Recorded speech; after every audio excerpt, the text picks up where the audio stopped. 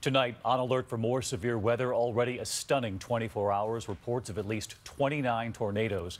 A dangerous commute home. Images from Grady, Oklahoma tonight. The pounding rain there. And outside Dallas, look at this.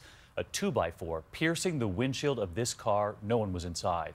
And this funnel cloud, one of so many, this one spotted in Ryan, Oklahoma.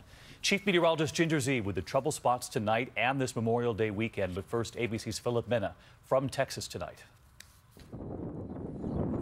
tornadoes wreaking havoc across Texas. Go this way, go this way, go this way. An EF1 hammering downtown mineral wells. Hunks of sheet metal blocking the roads. In Runaway Bay, Texas, a confirmed tornado sending 2x4s through windshields. In nearby Bridgeport, homes reduced to rubble. This is Wesley Campbell's home. That's his laundry room where he and his wife rode out the storm. I could feel the house moving, and then it was just wham we're just thankful to be alive. 29 tornadoes in the last 24 hours. In Texas alone, 64 in the past two weeks.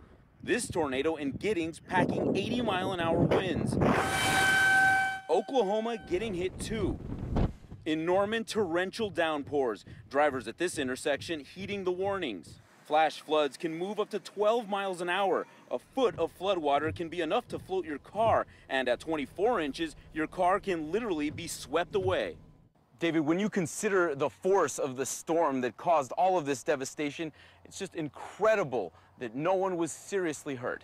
David? It really is, Philip. Thank you. There are a few trouble spots left tonight. And of course, Ginger also looking forward to the holiday weekend, and she's with us tonight as well. Ginger. Brand new severe thunderstorm watch just came out, David. Let me take you straight to the maps. It's in West Texas. You see that orange area, and there just San Angelo back to Fort Stockton. All of that pink, a severe thunderstorm watch. We're talking big hail, two plus inches. There could still be tornadoes tonight. And then the flash flooding threat. It goes through the holiday weekend and it's in large areas like Oklahoma City to Dallas. San Antonio and just south of San Antonio has the four to five inch potential. These are places that have been inundated with sometimes double their monthly average, sometimes on track for their wettest month ever. we're thinking about them tonight. Ginger, thank you. Now to that major oil spill in California. 105,000 gallons on the move tonight and now covering nine miles of coastline in Santa Barbara. This evening, the images coming in birds now covered in oil, whales swimming right into the oil slick. ABC's Kendis Gibson is right there. Tonight, a massive cleanup effort underway on one of Southern California's most popular beaches. This oil spill affects all of us. This is a disaster. It's a worst nightmare scenario. This pristine shoreline now an oily mess after an onshore pipeline near Santa Barbara ruptured on Tuesday. Before the line was shut off, as much as 105,000 gallons of oil flowed down this drain and into the ocean. The desperate efforts to save wildlife captured in this photo, whales swimming right into the spill. Out here in the ocean and you can see exactly where the oil entered the water. You see all that black stuff there on the rocks where the workers standing? That's where it exited a storm drain. This spill coming just days ahead of Memorial Day. Campers who booked their spot at this state park up to a year ago now forced to evacuate. David, tonight, take a look at this. The sand on this beach still laden with thick, gooey oil. We're told by officials cleanup could take several weeks. David? All right, Kendis Gibson tonight. Kendis, thank you. This evening, an overwhelming reaction after that massive recall.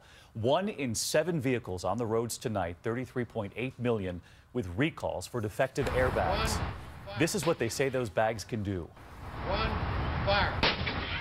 Worries they can explode with shrapnel hurtling through your car. 11 auto manufacturers, so many major names. And tonight, American families demanding answers. ABC's David Kerley now tackling three major questions. Why is there no definitive list of actual cars affected yet? Should you inspect your own airbag? And are replacement bags even ready?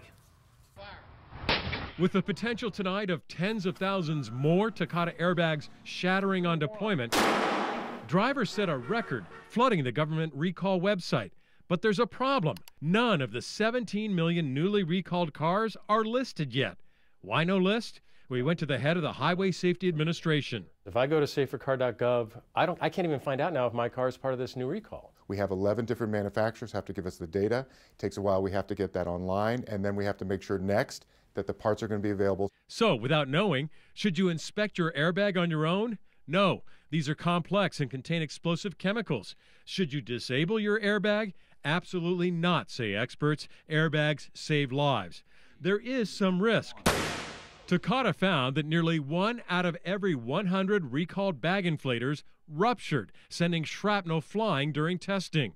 Stephanie Erdman knows firsthand what can happen, losing partial sight in one eye. I had a massive strike on my right side, and I just blinded out on that side, and I just felt this dripping blood. So, the advice from the safety administrator? What are you going to do? I'm going to look up the VIN number in our personal car. I'm going to see if we need to get to the dealer. I'm going to basically ask, if not demand, to make sure I get a loaner.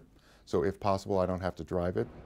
You can find the VIN, the vehicle identification number, here right on the car, the dash, below the windshield. It's 17 numbers and letters. And David, the government says they should have all those VINs in the system by early next week.